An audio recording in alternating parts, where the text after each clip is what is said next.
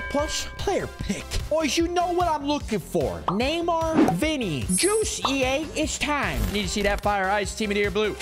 Ice. It's Neymar. Card two. Fantasy. Fantasy cards are good, man, but are they the juice? No. Card three. We got a fantasy. Where's the Team of the Year Blue? Neymar. 77 physical, 75 defense. Dribble pass. Oh. Oh! Are we going to get 90 shot, 90 pace? I'm judging a book by its cover here. What are we looking at? Candariva. Who?